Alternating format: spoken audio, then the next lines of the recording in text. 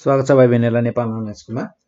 आज हामीहरूले class ten vector जियोमेट्रीको कुरा गर्नेछौँ र भेक्टर जियोमेट्रीमा पनि आजसम्म तपाईँहरूलाई लङ क्वेसन्समा सोधिएको क्वेसनहरू हामीले टु थाउजन्ड सिक्सटीदेखि लगेर टु थाउजन्ड सेभेन्टी फाइभसम्म आइपुग्दासम्म हामीहरूको लङ क्वेसन्सहरू चाहिँ भेक्टर जियोमेट्रीबाट सोधिएका सबै क्वेसनहरू हामीले कलेक्ट गरेका छौँ र त्यो क्वेसनहरूलाई हामीहरूले हेर्दा जब हामीहरूले त्यो क्वेसनलाई कलेक्ट गरिसकेपछि अब यो क्वेसन्सहरूलाई कसरी चाहिँ हाम्रो भाइ बहिनीहरूलाई अब बुझाउने त भन्दा हामीहरूले यो क्वेसन्सहरूलाई चारवटा पार्टमा डिभाइड गऱ्यौँ।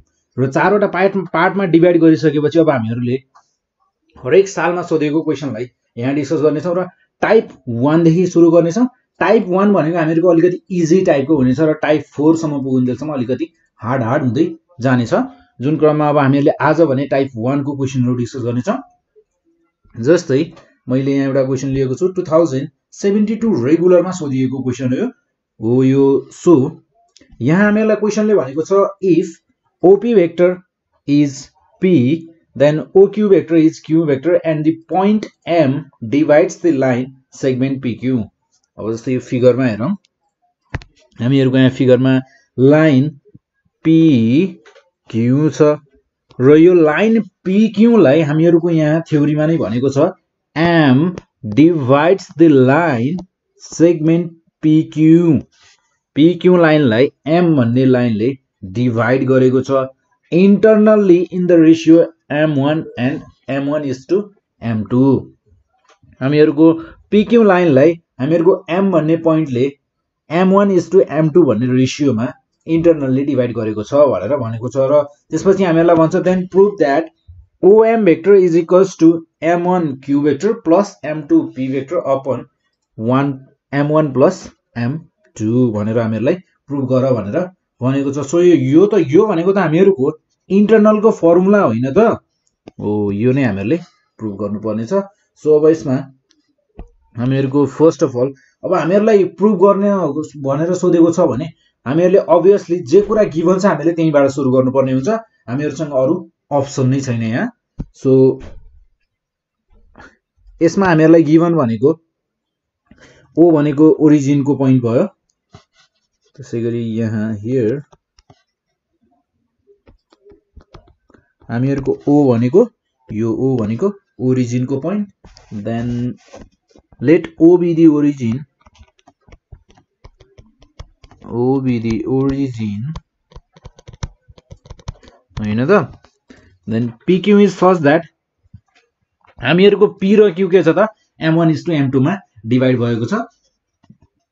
So the PQ PQ is such that PM PM upon MQ भन्न सक्ने भयो हामीहरूले र पिएम भनेको छ हामीहरूको एम वान र एमक्यु भनेको एम टू यिनीहरूको रेसियो भयो M one is to M two so हामीहरूलाई यहाँ गिभन भनेको जस्ट रेसियो मात्र गिभन छ। हामीले यहीँबाट क्यालकुलेट गर्नुपर्नेछ र यो रेसियोलाई युज गरेर गरेर हामीहरूले यसलाई प्रुभ गर्नुपर्नेछ. देन हामीहरूको यहाँ पिएम भेक्टर भनेको जस्तै मेरो पिएम भेक्टर लिएँ है मैले। यहाँ हामीहरूको पिएम भेक्टर भनेको पीदेखि एमसम्मको vector PM vector by MQ vector is equals to हामीहरूसँग छ M one is to M two ratio then PM vector भनेको हामीहरूको पोजिसनल भेक्टरको फर्ममा यसलाई लेख्ने हो भने हामीहरूको कस्तो हुन जान्छ त? पिएम भेक्टर भनेको। हामीहरूको पिएम भेक्टर भनेको त पिएम भेक्टर भनेको OP vector minus OM vector होइन त? OM vector minus OP vector then PM vector हो भने पिएम भेक्टर हो भने हामीहरूको यो हुने भयो OM vector minus OP vector र ओपी र ओएम भेक्टर भनेका हामीहरूका पोजिसनल भेक्टर हुन् यिनीहरूलाई पोजिसनल भेक्टर भनेर किन भनिन्छ भने यिनीहरूको हामीहरूको यहाँ जस्तै ओ भनेको ओरिजिनको भेक्टर छ सो यहाँ जस्तै हामीहरूको पिएम भेक्टर भनेको OM vector minus OM vector minus OP vector हुने भयो। त्यसै गरी हामीहरूको पिएम भेक्टर भनेको OM vector minus OP vector मैले पिएम भेक्टरलाई पोजिसनल भेक्टरको फर्ममा लेख्दा कसरी लेखेको छु त?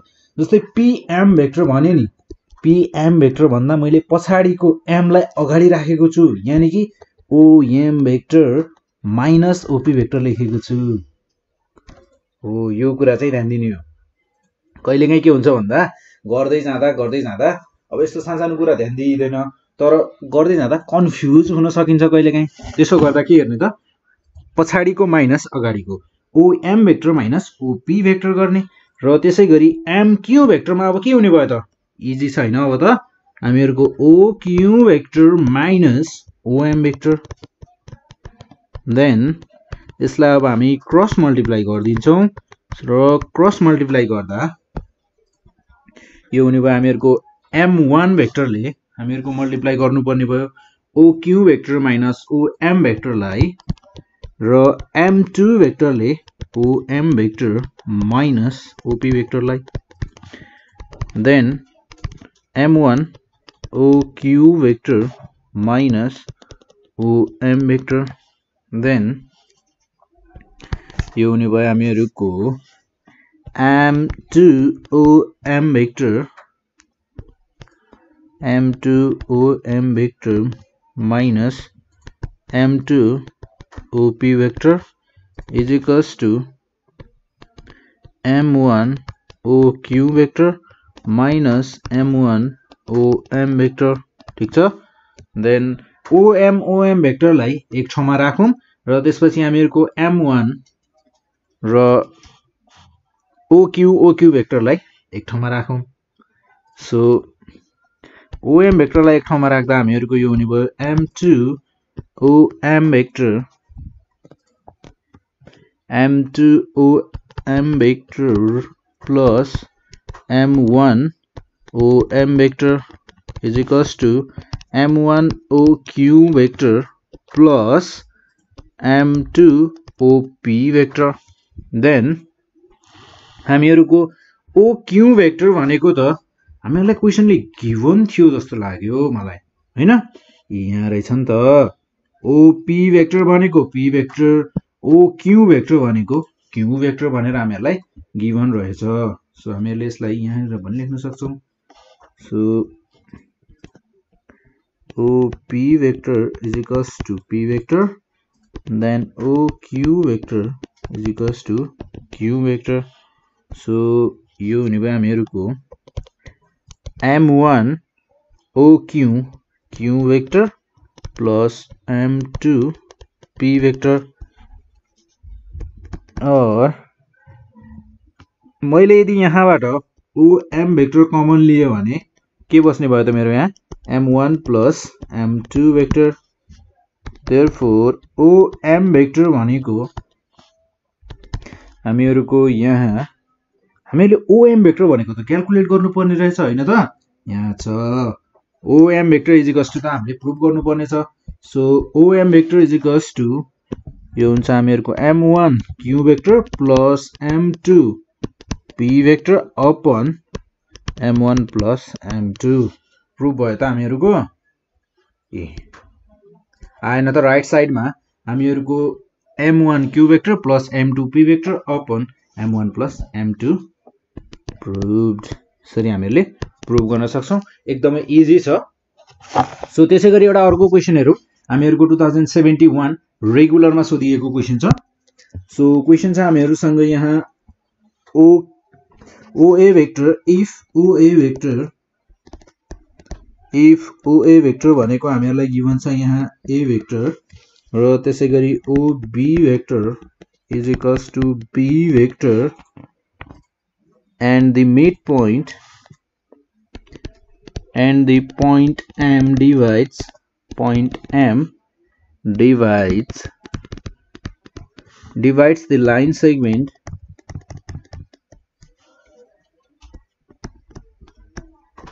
divides the line segment AB internally in the ratio internally in the ratio in the ratio of m1 is to m2 then prove that prove that om vector om vector is equals to m1 b vector plus m2 a vector upon m1 plus m2 हामीहरूको prove गर्ने process त माथिको जस्तै हो question पनि same माथिको जस्तै नै छ तर यसमा हामीहरूको थोरै माथि हामीहरूलाई ओपी ओक्यु भेक्टर भनेको थियो यहाँ हामीहरूलाई ओए भेक्टर ओबी भेक्टर भनेर भनेको छ जस्ट त्यति नै फरक हो। सो अब हामीहरूको यहाँ यो क्वेसन भनेको हामीहरूको first of all two thousand seventy one रेगुलरमा सोधिएको क्वेसन सो हामीहरूको यसको लागि फिगर बनाउँदा यो हुने भयो हामीहरूको ओए भेक्टर बनाऊँ first of all so OA vector छ हामीहरूसँग यहाँ। यो भयो हामीहरूको OA vector then O origin then A OA vector भनेको हामीहरूको ए भेक्टर गिभन छ हामीहरूलाई र त्यसै गरी ओबी भेक्टर भनौँ सो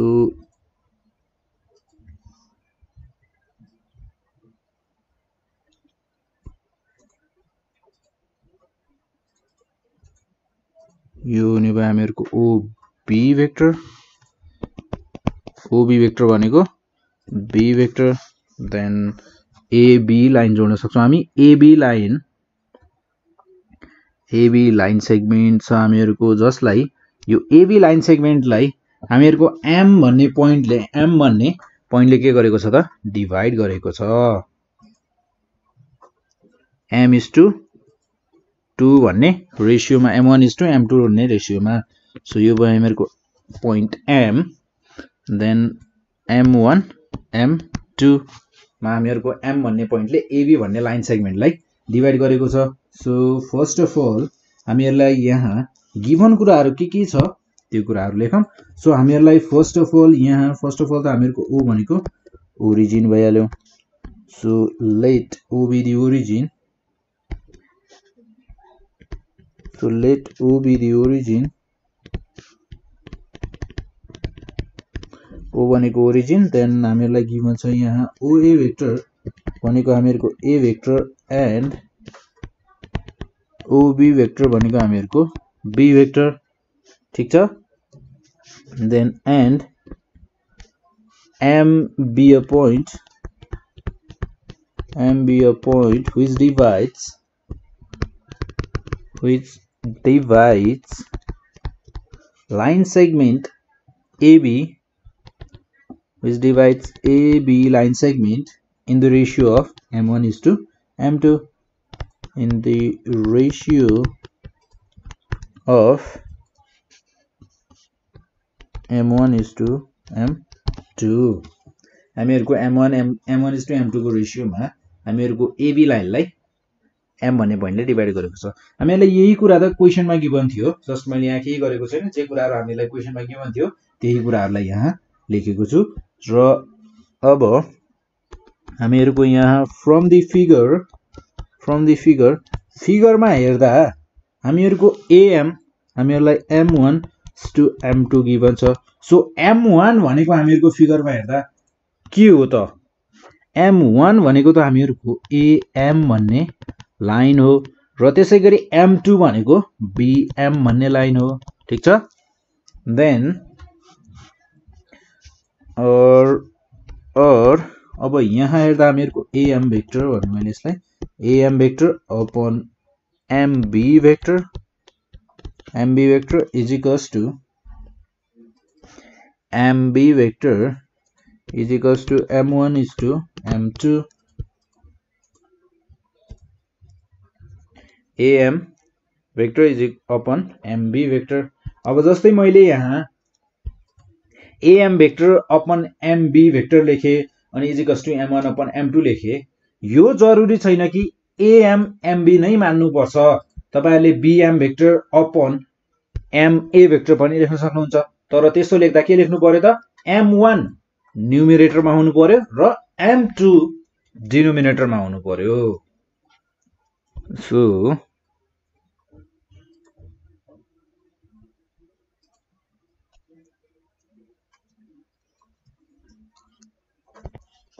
सो अब हामीहरूको यहाँ एएम भेक्टरलाई मैले पोजिसनल भेक्टरको फर्ममा लेख्ने हो भने के हुने भयो त?